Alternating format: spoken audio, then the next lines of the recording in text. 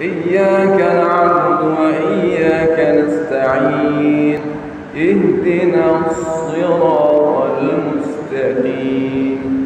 صراط هذه هذه هذه بس دي إن شاء الله لما لبي كلام سفر نهوات صلاة الله والسلام على من أوحي القرآن صلاة الله والسلام على من أوحي القرآن. بسم الله الرحمن الرحيم. السلام عليكم ورحمة الله وبركاته.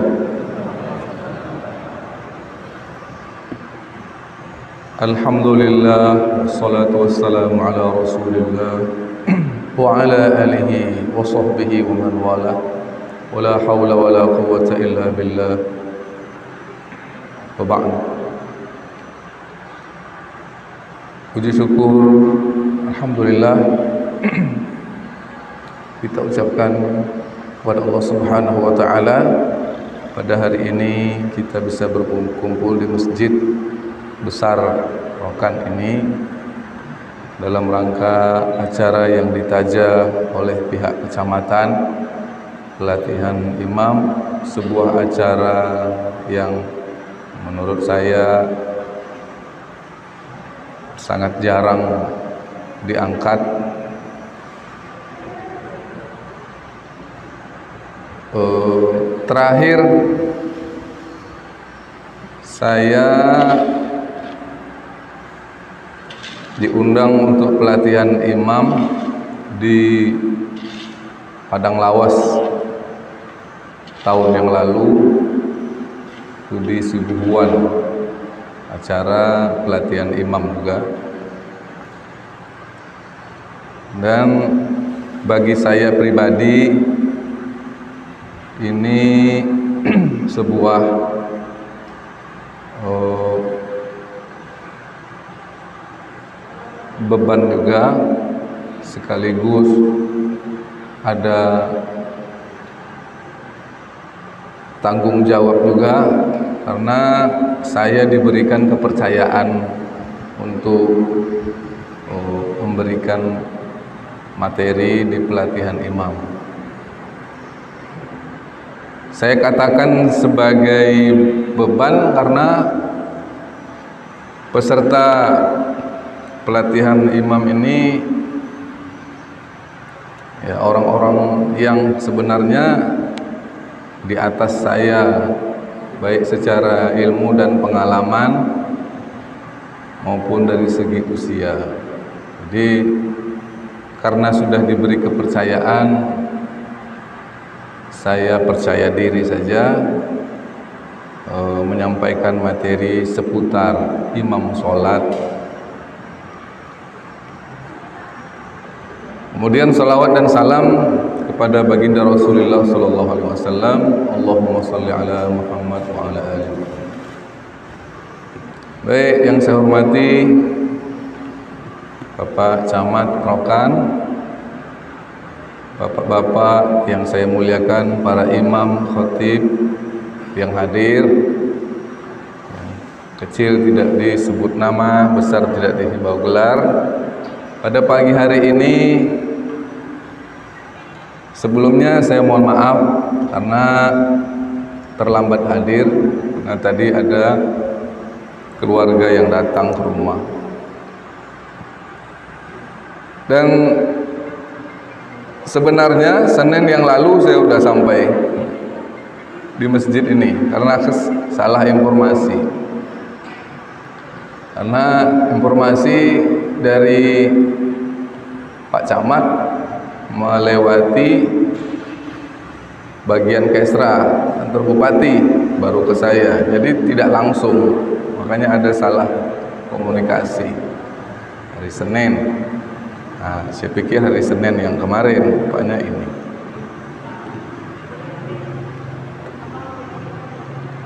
Baik bapak-bapak, para imam,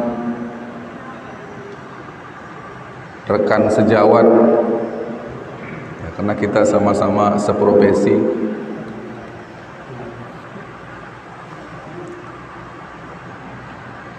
Pertama kita mau tidak mau harus terus menerus belajar memperbaiki mencukupi pengetahuan tentang sholat tentang syarat-syarat imam. Karena kita sudah terlanjur apa namanya dianggap mampu oleh jemaah untuk menjadi imam sholat mereka jadi kita harus apa namanya mengakomodir atau uh, melayani jemaah dalam urusan sholat. Jadi imam ini kita pasti sama-sama tahu toleransinya banyak harus toleransi. Imam harus banyak toleransinya kepada jemaah. Sebagaimana yang dicontohkan oleh Rasulullah Sallallahu Alaihi Wasallam misalnya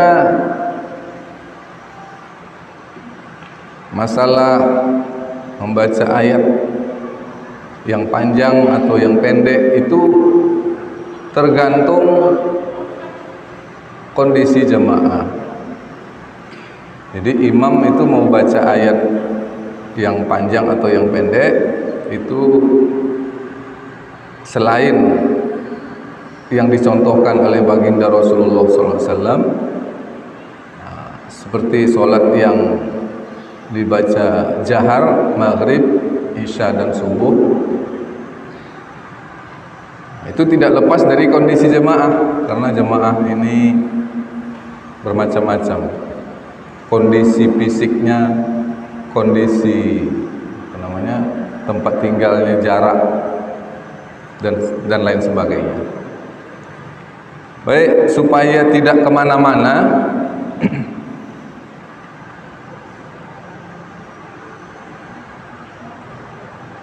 saya latar belakang pendidikan kuliah jurusan tafsir hadis. Kemudian diberi kesempatan belajar di Mesir oleh Pemda. Nah, di situ waktu di Mesir niatnya memang pengen belajar. Oh, semua yang berhubungan dengan bacaan Al-Quran baik itu iramanya tajwidnya menghafalnya. Jadi Alhamdulillah saya diberi kesempatan belajar uh, dengan orang-orang yang memang layak kita uh, belajar dengan beliau dan kebetulan Adinda Ilmardi Mardi tadi itu memang satu tempat tinggal nah, di Mesir. Jadi latar belakang saya kori. Kori ini bahasa Arab asal kata koroa baca. Jadi saya baru mampu di tingkat membaca gitu. jadi musabaqah tilawatil Quran uh, itu perlombaan membaca ada lagi nanti menghafal. Jadi masih tingkat bawah masih membaca. Jadi karena basic saya kori nanti saya akan lebih ke bacaan. Kita akan oh, menukik atau apa fokus ke bacaan. Seperti misalnya Al-Fatihah dan ayat Al-Qur'an yang lain. Tapi sebelum itu Bapak-bapak para imam yang saya hormati perlu juga kita ulang-ulang lagi tentang syarat-syarat imam. Syarat-syarat imam ini nanti yang dirumuskan oleh ulama ulama termasuk ulama mazhab kalau kita kan Indonesia mazhab syafi'i. Eh adapun syarat-syarat imam itu pertama Islam tentunya. Itu enggak perlu dibahas. Islam. Balik. Kemudian laki-laki berakal. Ya balik ini sudah apa namanya sudah mukallaf. Sudah mukallaf. Kemudian berakal. Berakal. Jadi imam itu ya dilarang berimam ke menjadi makmum kepada imam yang tidak berakal. Kemudian ada dia belum sampai akil balik, belum mukallaf, tapi mumayyiz namanya. Mumayyiz ini anak-anak yang sudah mengerti mana yang baik, mana yang buruk, tapi dia belum mukallaf. Nah, tentang masalah ini oh, ulama Syafi'i membolehkan berimam kepada anak-anak yang mumayyiz. Walaupun belum balik tapi dia sudah mumayyiz. Dengan syarat ya bacaannya bagus hafalannya uh, bukan sekedar mumayyiz saja tapi juga harus bacaannya bagus kemudian laki-laki. Makanya laki-laki dilarang berimam kepada wanita. Kecuali wanita boleh jadi imam ketika tidak ada lagi laki-laki. Nah itu baru boleh perempuan jadi imam. Baik yang pertama Islam. Kedua balik. Tiga berakal. Keempat laki-laki yang kelima suci. Nah, suci. Ya tidak berhadas. Suci dari hadas besar dan hadas kecil. Kemudian bagus bacaan. Nah ini dia. Bagus bacaan inilah nanti kita coba. Oh, apa namanya? Mentahsin atau mengulang-ulang bacaan memeriksa kembali bacaan kita. Bagus bacaan karena bacaan imam itu mewakili bacaan makmum nah, terutama di sholat jahar sholat maghrib, isya, subuh. Ini bacaan imam itu adalah oh, apa namanya imam adalah penanggung jawab. Al imamu zunnah. Imam adalah penanggung jawab. Al imam zunnah imam adalah penanggung jawab. Jadi memang berat jadi imam ini jadi penanggung jawab. Yang enak memang jadi makmum ikut. Nah, nggak ada yang dipertanggungjawabkan. Kemudian bukan makmum. Yang berikutnya itu bukan makmum. Jadi ada kita lihat waktu sholat berjamaah kemudian ada makmum masuk. Masbuk. Misalnya sholat zuhur di rakaat kedua dia masuk. Kemudian setelah imam yang di depan salam dia berdiri menambah dua rakaat lagi kemudian datang lagi makmum yang masbuk juga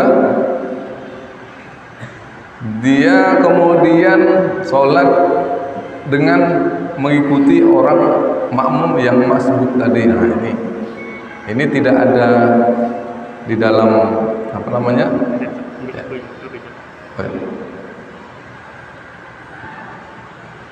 Di dalam sumber apa namanya dalil tidak ada dalil berimam kepada orang yang masbuk nih. Jadi imam itu tidak boleh dari kalangan makmum.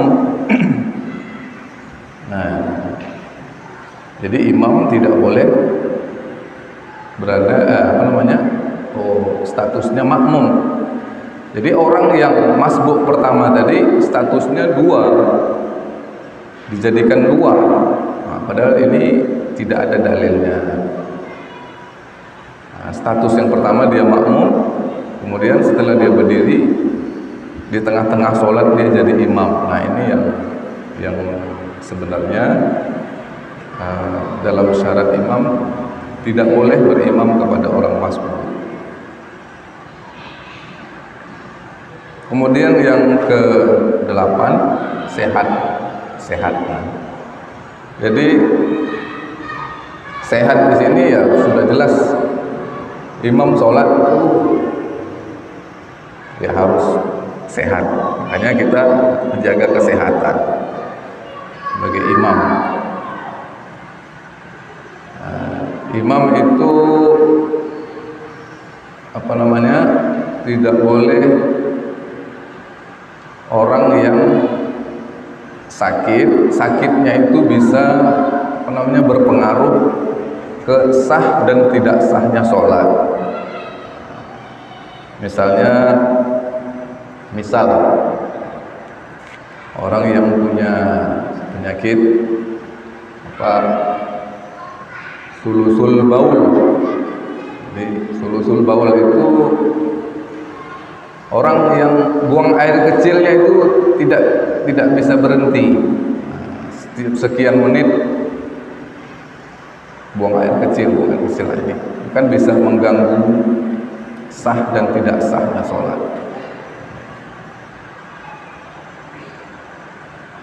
Tapi kalau penyakit yang biasa itu yang tidak berpengaruh ke sah dan tidak sahnya sholat itu tidak masalah. Misalnya ah, batu, batu selemo, batu biasa. Tapi kalau sul, uh, seperti penyakit sulusul baul tadi itu, nah bahaya nanti. Sedang sholat uh, buang air kecil itu tidak terkontrol kan? Nah, makanya perlu dijaga. Jadi tidak tidak layaklah orang yang seperti itu oh, menjadi imam sholat. Kemudian yang terakhir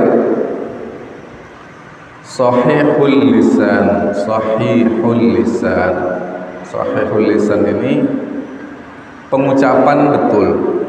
Pengucapan betul. Jadi mampu membaca ayat dengan bacaan dan sebutan huruf yang benar. Jadi sahihul lisan fasih bacaan fasih. Nah itulah syarat uh, imam sholat secara umum yang di apa namanya kriteria umum yang dibuat oleh para ulama. Mulai dari Islam tadi balik berakal laki-laki suci bagus bacaan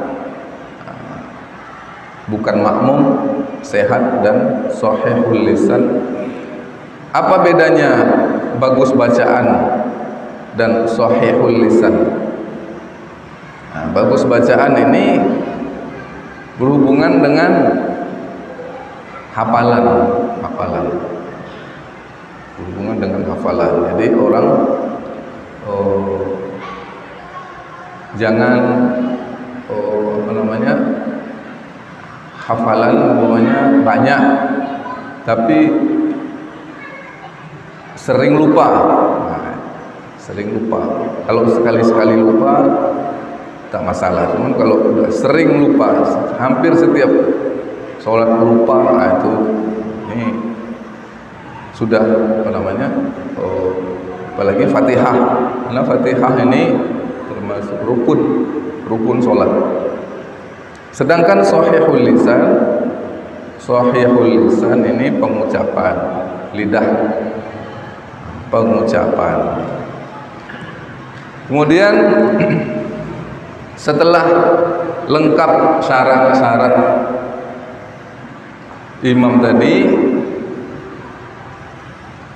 kalau orangnya banyak misalnya di satu tempat orangnya banyak yang layak itu banyak yang layak jadi imam itu banyak di kampung itu umpamanya. Siapa yang yang lebih berhak atau yang lebih oh, didahulukan? Jadi kalau lengkap syarat jadi imam itu dari kita sebanyak ini nah siapa kira-kira yang berarti semuanya memenuhi syarat. Berarti semuanya bisa. Tapi siapa yang paling layak? Gitu yang paling layak. Nah, jadi ini dirangkum dan saya kutip dari apa namanya uh, mazhab Syafi'i termasuk kriteria yang cukup banyak juga kalau mazhab Syafi'i. Kalau berkumpul semua syarat tadi pada banyak orang, siapa yang paling layak? Nomor satu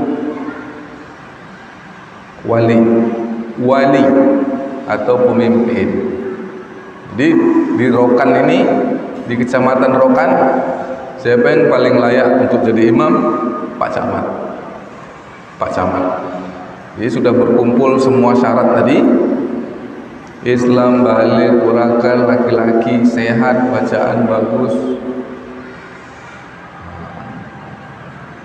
Nah, di Rokan ini siapa yang paling layak? Pak Camat. Wali, pemimpin. Karena dalam Islam kan tidak dipisahkan dia antara pemimpin, pemimpin pemerintahan dengan pemimpin agama itu tidak terpisah. Sekarang aja yang dipisah. Dulu zaman Rasulullah, zaman Khulafaur Rasyidin itu satu. Jadi mungkin karena apa namanya perkembangan zaman orang tidak lagi apa namanya ada yang mampu jadi pemimpin dua ya agama ya politik gitu kan jadi terbagi nah, kalau pemimpinnya tidak sanggup pemimpinnya tidak sanggup maka ditunjuklah imam. Ditunjuklah imam namanya imam rotib. Nah, ditunjuklah imam rotib. Nah inilah kita-kita sekarang ini. Kita ini adalah imam rotib imam yang ditunjuk oleh jemaah yang dianggap mampu untuk memimpin sholat nah, imam rotib ini pun juga ada kriteria dari para ulama kita siapa imam rotib itu seperti apa. Nah, pertama al afqah orang yang paling pakar di bidang fikih jadi ada dua orang oh, yang satu sama-sama bagusnya. Siapa yang layak jadi imam? Yang paling afqah yang paling faham fikih terutama tentang hukum sholat hukum halal haram hukum wajib sunat mubah makruh haram. Kemudian tahu hukum dan rukun sholat ya. Sekurang-kurangnya fikih sholat. Nah, kan gitu. Sekurang-kurangnya fikih fikih yang berhubungan dengan sholat. Rukun sholat syarat sah sholat. Kemudian wudhu yang membatalkan wudhu pokoknya seputar sholat. Kemudian setelah al-afqah al-aqra al-aqra. Al-aqra ini diambil dari kata qara'a bacaan. Berarti al-aqra orang yang uh, semua yang berhubungan dengan bacaan Al-Quran dia yang paling bagus. Al-Aqra ini orang yang bacaannya bacaannya bagus. Aqra. Kalau bagus semua ya yang paling bagus. Kalau bagus semua nah yang berikutnya Al-Awra. Al-Awra ini orang yang paling warak paling warak yang paling warak. Warak ini orang yang menjaga dirinya dari hal yang subhat. Nah, ini awrak ini memang berat ini Pak. Berat. Ini syarat ini berat. Jadi tidak menjaga diri dari yang haram lagi tapi menjaga diri dari yang subhat. Itu itu wara al awra orang yang paling wara jadi apa namanya? Ini bisa jadi referensi untuk pengurus masjid yang sedang mencari imam rotib.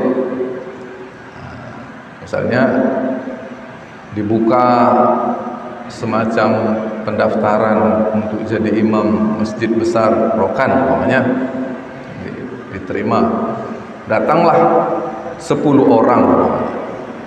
Datang 10 orang. Makanya nah inilah bisa dijadikan kriteria. Dari yang 10 orang itu nah siapa yang paling afqah siapa yang habis itu fakih semua semuanya ahli fikih nah tengok orangnya siapa yang yang warak. Kemudian yang berikutnya orang yang yang lebih dulu hijrah. Nah, ini kita tidak mengalami ini. Tapi ada juga sebagian ustaz, sebagian ulama itu hijrah ini diartikan siapa yang lebih dulu hijrah dalam arti oh, sadarnya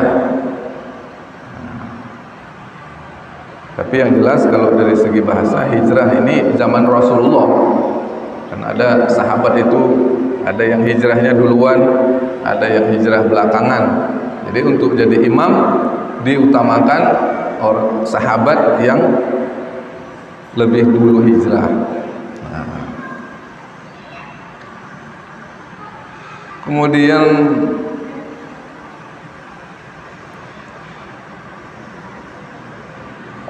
diutamakan orang yang lebih dulu masuk Islam.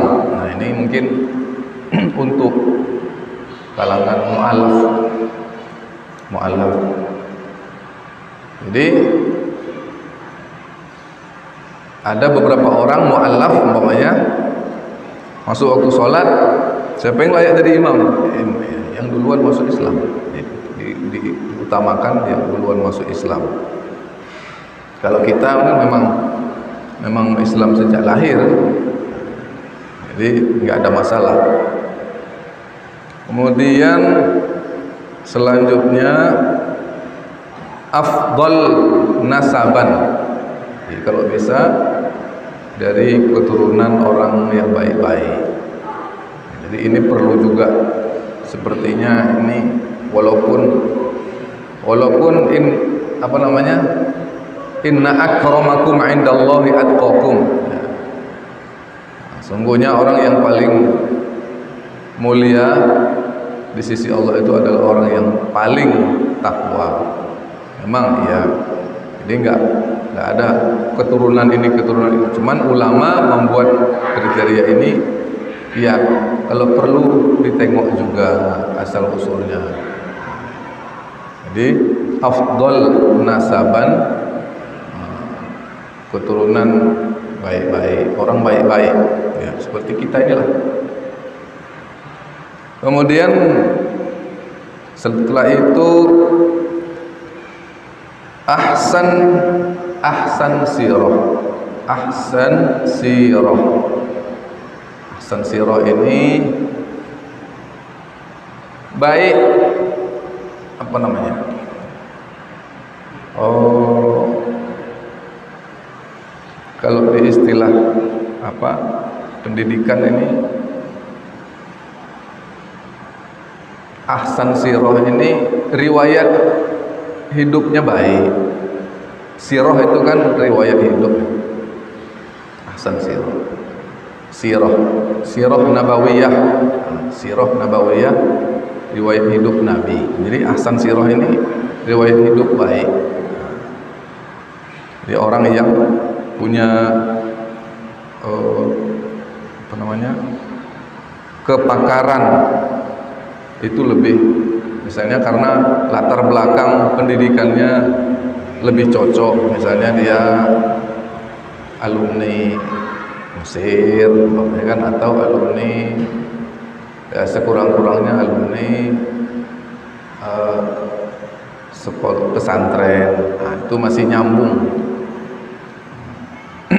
jadi latar belakang. Ini juga perlu. Karena uh, itu mendukung mendukung apa namanya mendukung ke kualitas sholat kita. Kemudian nah ini yang berikutnya anzof sauban. Anzof sauban itu ya setelah setelah semuanya tadi berkumpul afqah dia afqah paham fikih kemudian akro hafalannya hafalannya relatif banyak kemudian bacaannya bagus aurat orangnya warak lebih dulu hijrah kemudian lebih dulu masuk Islam untuk mualaf setelah itu berkumpul semua syarat itu apa lagi? Ahsan sirah. Anzof sauban. Anzof sauban ini yang setelah ini mau sholat ini mau sholat. Anzof sauban orang yang paling bersih pakaiannya. Nah, jelas. Sauban itu pakaian. Jadi ini oh sangat diperhatikan nampaknya. Karena memang imam itu di depan jadi jadi perhatian. Jadi mata orang mata orang ramai jemaah itu menengok. Otomatis dia jadi pusat perhatian. Jadi walaupun sebenarnya jadi makmum pun harus bersih juga. Tapi kalau harus kalau untuk jadi imam itu apalagi harus bersih. Jadi ulama sangat memperhatikan oh, pakaian untuk sholat. Termasuk sehingga masuk ke dalam kriteria untuk imam sholat anzof sahabat. Yang paling bersih pakaiannya. Kemudian naziful badan. Nah kalau tadi pakaian sekarang badan. Jadi sudah selayaknya kita. Jangankan untuk jadi imam jangankan untuk jadi makmum dalam sholat berjamaah di mana pun di mana pun kapan pun kita harus menjaga kebersihan badan. Apalagi untuk jadi imam sholat. Dan ini kriteria ini dibuat oleh ulama Syafi'i. Nah, ulama Syafi'i ini madhab Syafi'i. Jadi ada 14 termasuklah salah satunya Nauziful Badan. pakaian bersih, badan bersih. Kemudian Tayyibatu son'ah Tayyibatu son'ah. Nah, Tayyibatu itu bagus. Son'ah itu kelakuan Kelakuan ucapan misalnya Yang ini sama sama-sama fakih, sama-sama warak, sama-sama akrok, sama-sama ini. Tapi yang satu suka kalau ngomong kasar, nah, ngomong kasar, suka namanya uh, bercanda yang yang berlebihan. Nah, maka yang lebih layak itu orang yang yang lebih ya thayyibatu son'ah tadi yang yang tidak kalau ngomong tidak kasar nah, sampai begitu syarat jadi imam. Sebetulnya ini syarat-syarat ini bagus semuanya bagus. Cuman sifatnya relatif kan relatif. Mungkin ucapan tertentu di daerah kita ini dianggap kasar tapi di daerah lain mungkin biasa saja. Nah, jadi relatif ya jadi berlaku juga di situ adat istiadat kalau kita umpamanya ke daerah orang lain maka kita harus ikut adat istiadat mereka selama tidak bertentangan dengan Quran Sunnah. Selanjutnya ah, ahsan sautan eh bukan Thayyibatu sun'ah ahsan Sautan, Ahsan Sautan ini suaranya bagus. Ahsan Sautan, yang paling bagus suaranya. Nah, ya ini karena apalagi kalau sholat maghrib, isya, subuh itu yang yang jahar bacaannya. Kita usahakan sebagus mungkin, sebagus yang kita bisa. Nah, ini juga karena bacaan imam bakal didengar baik orang yang di dalam masjid maupun orang yang di luar masjid. Jangankan imam, azan, azan, azan ini terakhir ada berita di media sosial di Jakarta. Jakarta itu ada bule. Orang apa namanya orang Perancis atau mana. Dia komplain. Dia tidak senang. Di Jakarta itu asal waktu sholat masuk. Semua masjid azan. Tapi uh, apa namanya karena yang azan ini mungkin asal-asalan. Tidak enak didengar mungkin. Tidak enak didengar. Jadi bule ini ya namanya bule orang kafir kan? Kafir. Dia merasa terganggu. Yaitu karena yang azan itu asal-asalan itulah. Tapi kalau yang azan ini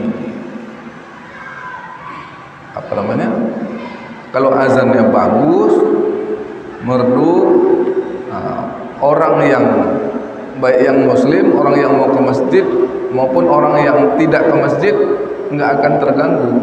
Ini karena karena azan itu hancur-hancuran banyak. Oh, asal bunyi aja gitu kan. Nah, apalagi imam sholat. Jadi imam sholat rupanya perlu juga perlu juga kita apa namanya bagus-baguskan suara itu ternyata perlu juga karena didengar semua jamaah Nah, setelah berkumpul semua syarat itu, apalagi siapa yang paling layak? Nah, ini yang berikutnya ini nah, agak payah ini. Ahsan suratan ay wajhan. Orang yang paling bagus wajahnya. Nah, orang paling bagus apa namanya itu? Oh, fisiknya kalau suratan itu kan bentuk surah itu bentuk orang yang paling bagus ya kalau laki-laki mungkin lebih ke tampan lah tampan gagah gitu lah nah, segitu ketatnya ulama syafi'in ay wajahan. Jadi memang waktu saya di Mesir imam-imam sholat mereka itu memang begitu.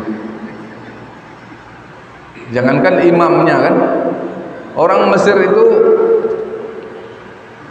ya subhanallah susah kita nyari yang enggak, enggak ganteng itu susah. Ganteng semuanya semuanya bagus tinggi. Mancung semua.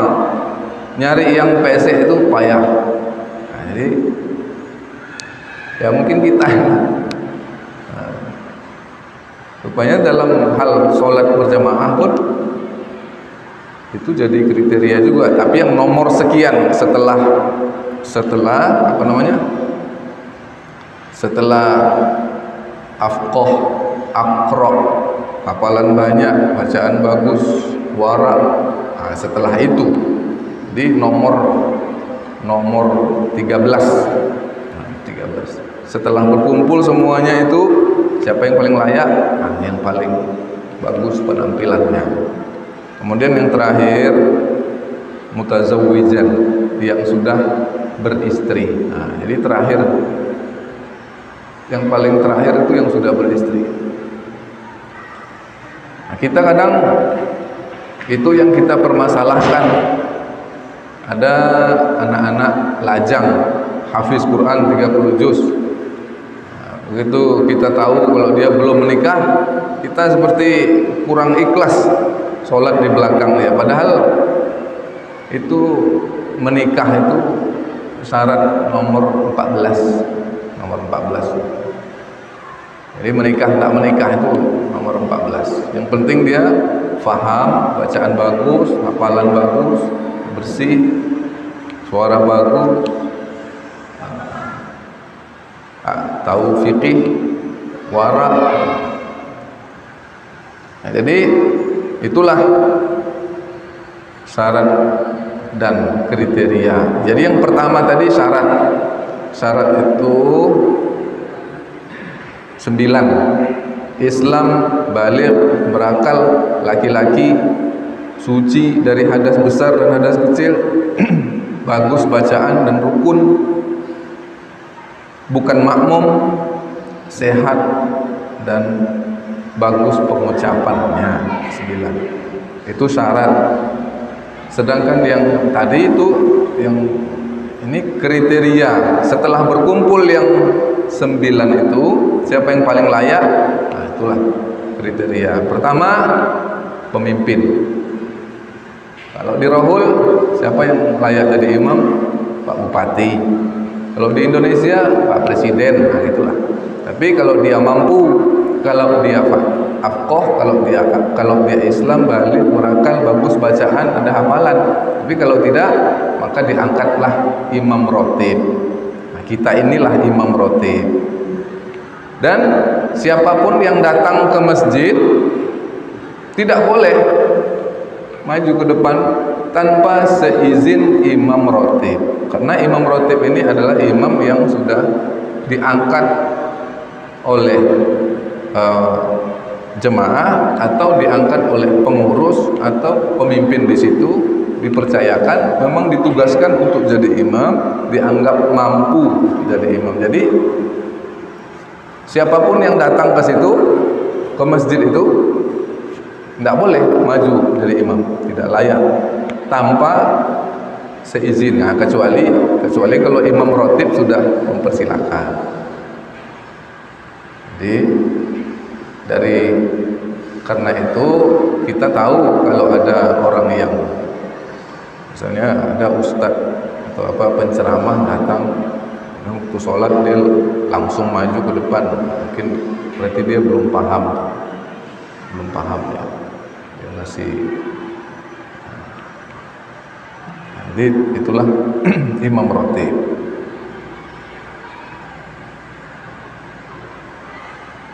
nah itulah syarat dan kriteria imam.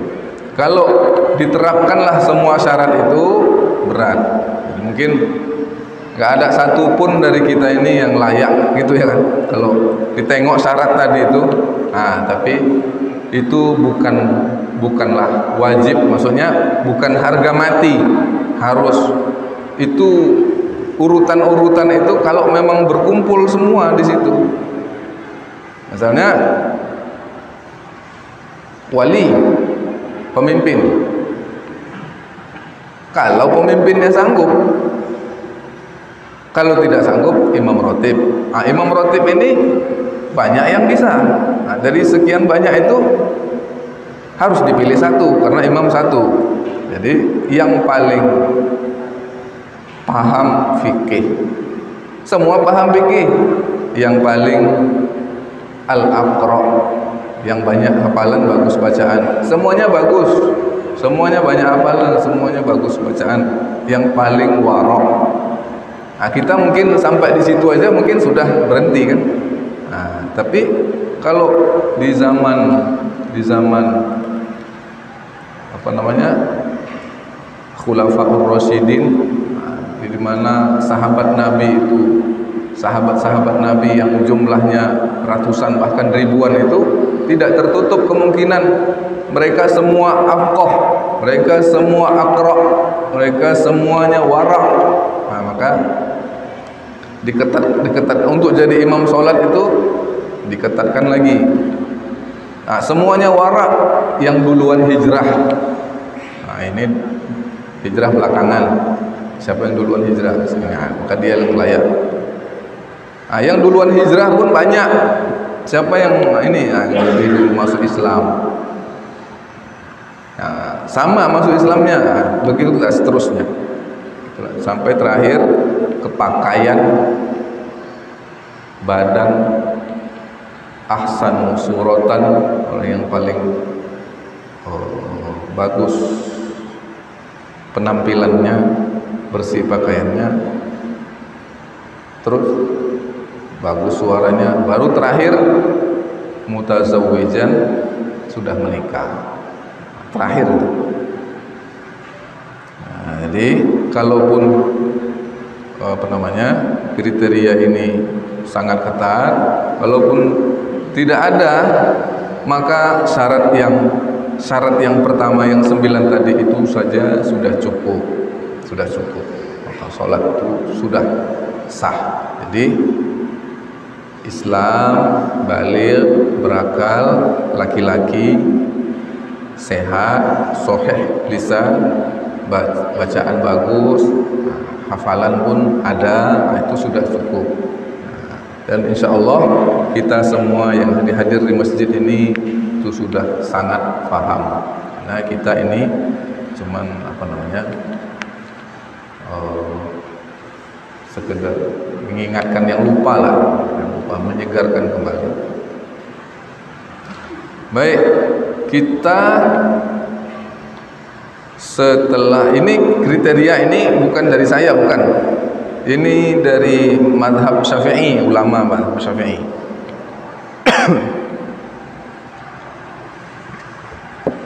Yang akan jadi fokus kita bukan tentang pelaksanaan sholat karena kita sudah tahu semuanya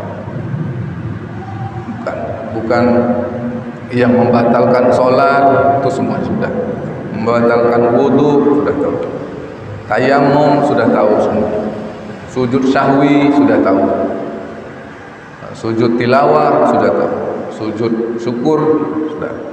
Jadi yang jadi fokus pembahasan kita karena saya latar belakang Kori saya akan fokus ke oh, kriteria imam yang nomor empat tadi.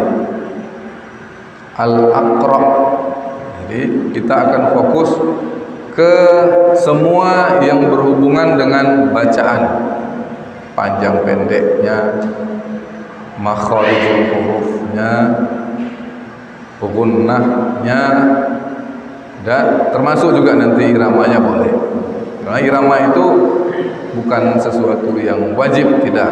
Dia hanya tahsiniyah saja. Tahsiniyah itu maksudnya menambah bagus apa namanya tambahan. Tapi yang perlu itu yang yang jadi intinya yang jadi pokoknya itu ah, sebutan hurufnya panjang pendeknya uh,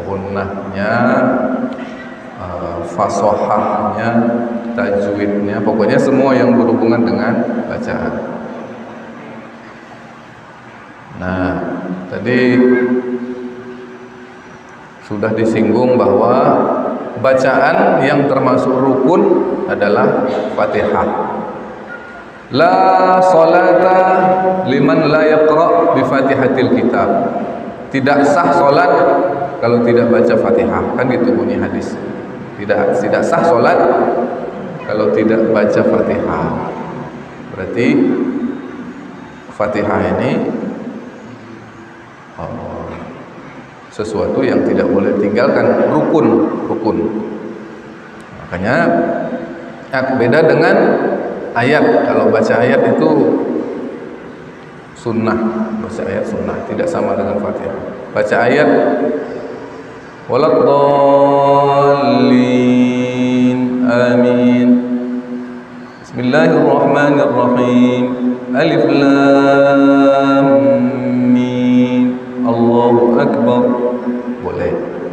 Tapi kan tidak pernah dibuat orang itu. Tapi kalau sahnya sah. Tidak baca ayat pun sah. Cuman nah, rasanya keterlaluan lah kalau tidak baca ayat. Nah, eh, apa namanya yang disuruh baca itu bebas.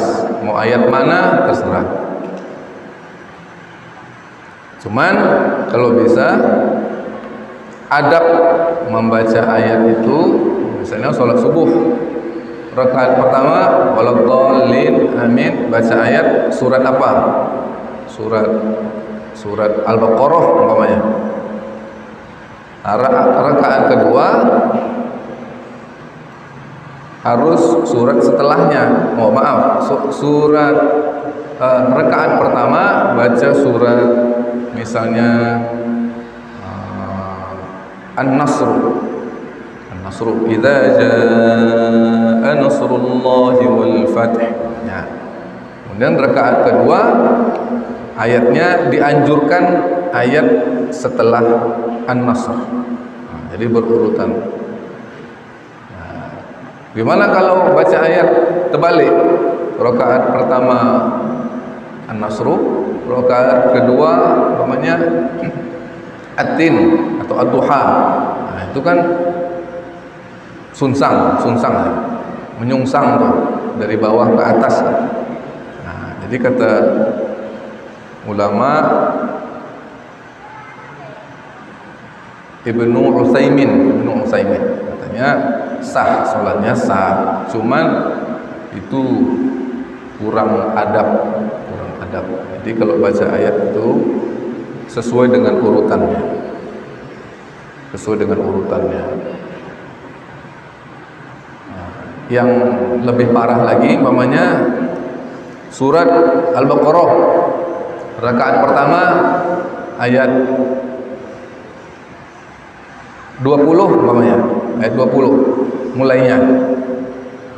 Rakaat kedua baca ayat 10 nah itu lebih parah lagi. Dibalik. Jadi harus sesuai urutan. Rakaat pertama kalau mau baca ayat 10 sampai ayat 20 rakaat kedua ayat 21 sampai seterusnya. Itulah kira-kira. Nah, tapi kalau beda suratnya misalnya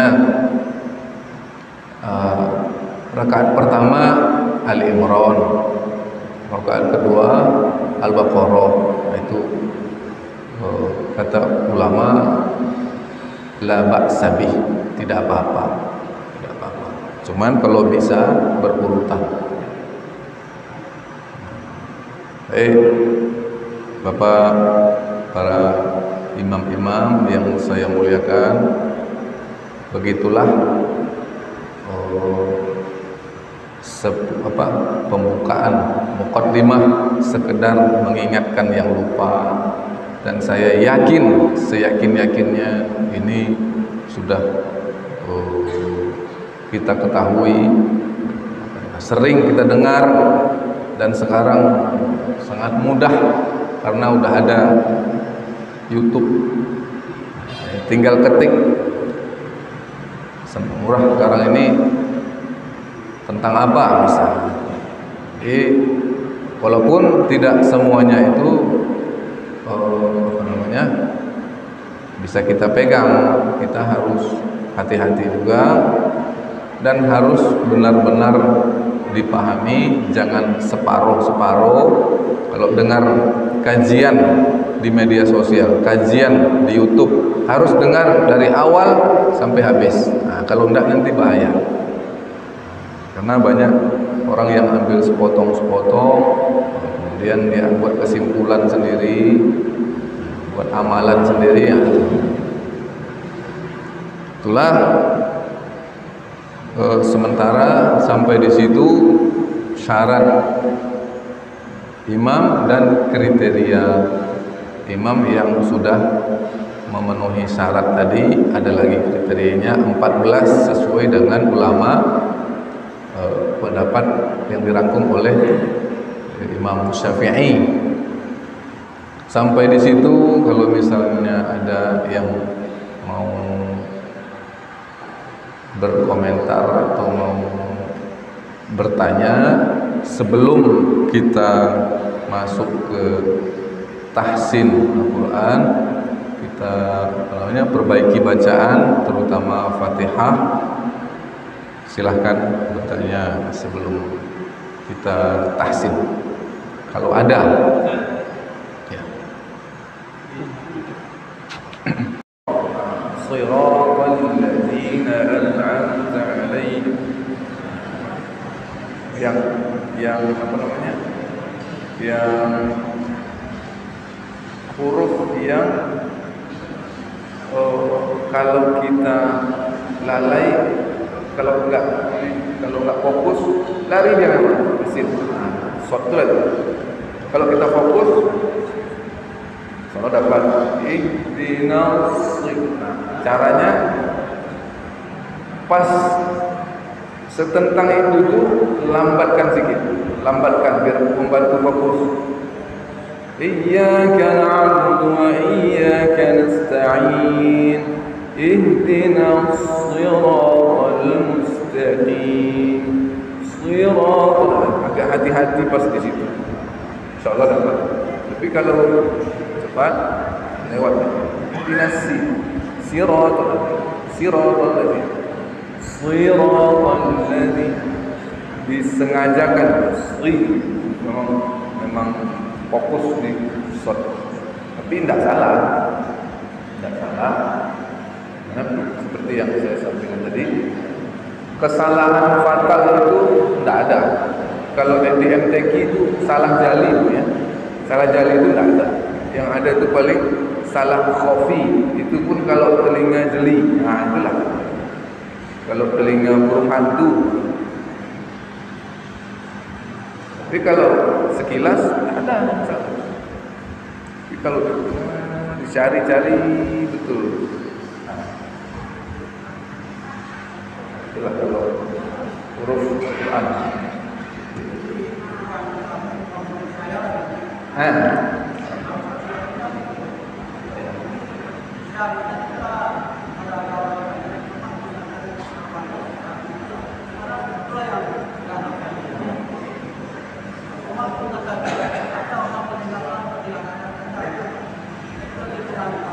Ya, ya itu kita yang berprofesi sebagai imam sholat ini saya bapak imam kita harus siap harus siap kita dikoreksi itulah jadi kita harus menjadi orang yang menerima saran selama itu memang sarannya bagus dan disampaikan dengan cara yang tepat kan gitu. Harus kita itu. Jadi apa namanya kalau tujuan dia memang baik kita pasti senang. Pasti senang memperbaiki cuman nah, kalau beda kalau kita sendiri yang belum puas dengan bacaan fatihah kita itu ada juga itu. Padahal bacaannya udah bagus udah bagus. Cuman dia sendiri merasa oh leh asuhnya oh leh gitu padahal udah bagus nah itu gak payah. Itu orangnya itu kurang pede ya. Dia udah bagus tapi tidak pede. Nah, terakhir nanti majulah orang menjadi imam itu pembacaannya tidak bagus tapi modal pede. Nah, itu yang akan ada dua. Dia kepingin jadi imam padahal dia tidak mampu. Cuma dia kepengen gitu sementara ada orang yang mampu ya macam kita ini lah mampu tapi bahasa basinya tinggi pula. Nah, terakhir nanti. Yang cuma modal PD itu kan salah juga kita kan jadi kalau kita yang sudah diberi kepercayaan itu itu tandanya kita sudah dianggap mampu nah, jadi kalau ada kata-kata yang tidak berkenan di hati saya mohon maaf sebesar-besarnya. Terima kasih kepada Allah yang maha ampun kepada kita semuanya mohon maaf. Kita akhiri majelis ini dengan doa kifaratul majelis subhanallahi